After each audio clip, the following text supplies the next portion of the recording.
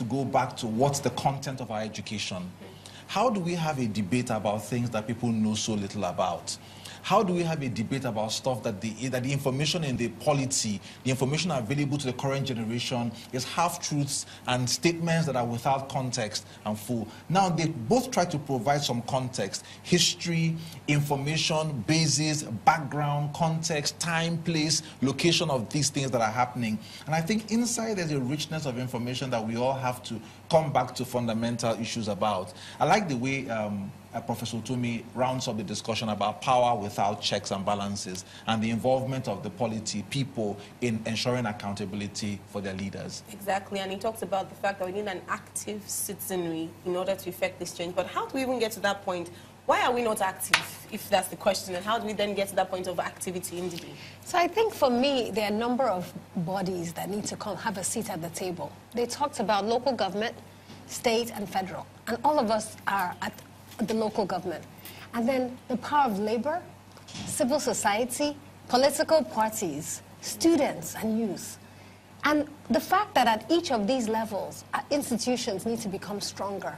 Our labor groups need to become stronger. Political parties, they said, do not exist. They need to yeah. become stronger. Because who is making the decision about the federalist Nigeria? We're not at the table. We need to demand our seats at the table. I think that was one clear message that I heard today. The second one is hold your people accountable. Yes. Once you demand a seat at the table and you form strong groups, hold them accountable. Fight for that right to speak up. Now, I don't mean fighting with weapons. Mm. I mean fighting with intellectual rigor. What Obinaya talked about, knowing who we are, what we stand for. Fighting with facts. And he used Lagos State as an example, a state that has fought at the judiciary for its right at the table and has won. That gives us hope that we can do it. Create federal systems that work for you, but also state systems and local government systems that work. Absolutely. Mm. Taji, what do you have to say to this? Well, I think the two professors uh, created a balanced, um, if you like, discussion around um, federalism and restructuring.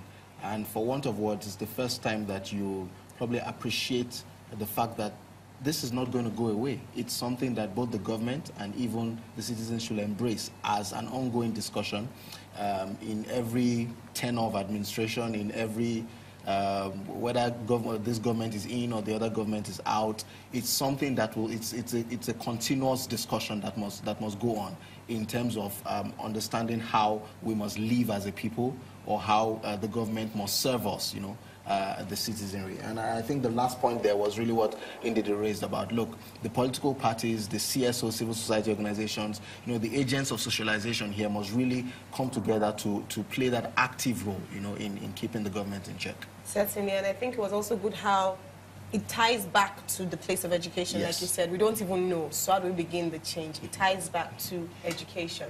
But we need to round up now, going quickly back to the next speaker the Honorable Minister of Trade and Investment, Dr. Okechukwu Enelamah. Back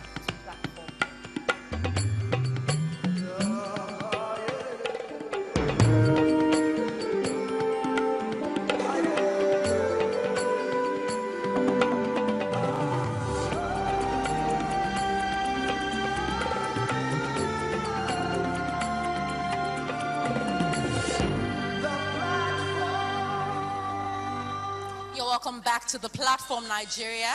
The platform is brought to you by Covenant Christian Center, and we are live at the Covenant Place, Iganmu, Lagos. Our next speaker is the Honorable Minister of Industry, Trade and Investment, Dr. Okechukwu Enelamah. Prior to his ministerial appointment, he worked as the CEO of Africa Capital Alliance, ACA, an investment and financial advisory firm, where, which he co-founded in 1998. ACA has now grown to be recognized as a leading private equity firm in West Africa. Mr. Enelamah has 27 years of private sector experience spanning finance, consulting, auditing in Arthur Andersen and private equity. He holds a medic medical degree from University of Nigeria, Nsukka.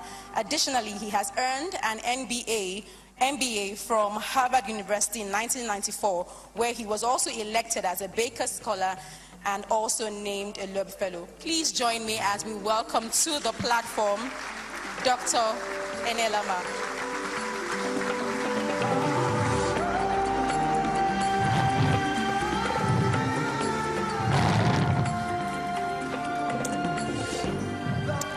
Thank you very much.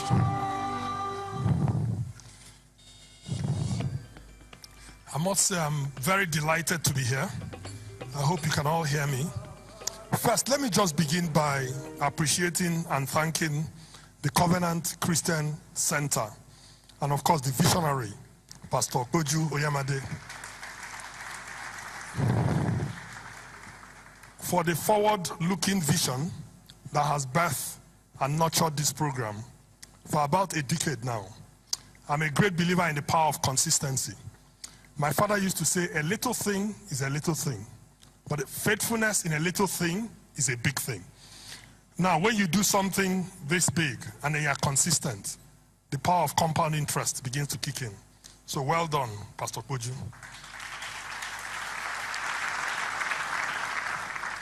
The distinguished cast of speakers, the multiple viral moments shared enthusiastically by the digitally connected generation, of which I'm not very lucky to be a member, and its insistence on conversations that matter have made this an important cultural and social phenomenon for Nigeria. And I really want to thank you for inviting me on this stage to share a message on building the Nigeria of our dreams. In fact, I've titled my message Wanted, a new generation, or a new tribe, to be more precise, to build the Nigeria of our dreams. Wanted, a new tribe to build the Nigeria of our dreams. I also want to appreciate all the other speakers. In fact, when I saw the cast of speakers, I was um, both intrigued. They told me I should come later. I said, but I need to be in the audience. I need to listen. So after a while, I had to come, and I was permitted to come and join. And I must say, the speeches have been brilliant and inspiring. And I like, and thought-provoking, I might add as well. And let me say that what I would like to do is to add to the conversation wearing a couple of hats. First is that I, I like to accept responsibility since I now have the privilege and honor of serving in the government of speaking as somebody who has responsibility not only to lead, but to lead by example. Secondly, I would also like to speak from the point of view of somebody who has been part of this debate about how do you build a better Nigeria. It's something I believe in deeply, and I think it's possible, like the previous speakers have said. And I hope one can join it from a position of responsibility. The theme of today's event, putting together the jigsaw pieces that form Nigeria, reminds me of a story I read about a scientist and his nine-year-old son. The scientist was working on a difficult assignment and was approached by his nine-year-old son, determined to help him in his work. The scientist, who would rather not be interrupted, tried to ask his son to go somewhere else for a while. But when he saw that the son would not, he started looking for an activity to keep the child busy. He tore a page of the world map from a booklet, cut it into small pieces, and gave it to the child with a roll of duct tape. Do you like puzzles? He said. Take this dismantled world map and see if you can tape it together again.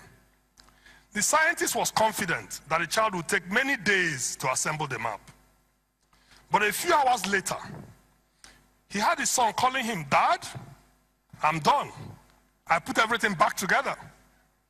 At first, he did not believe it. It isn't possible at the age of nine to reconstruct a map of the world his son had never seen before. He thought.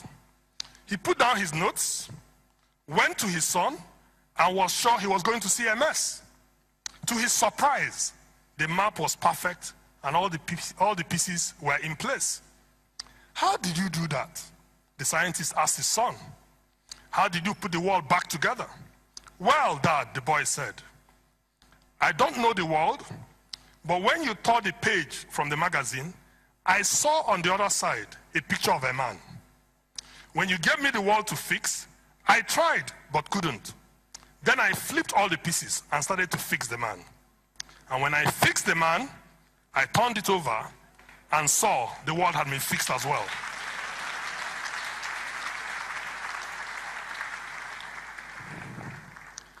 This story may be apocryphal in the sense that it may not be reality, but it teaches vital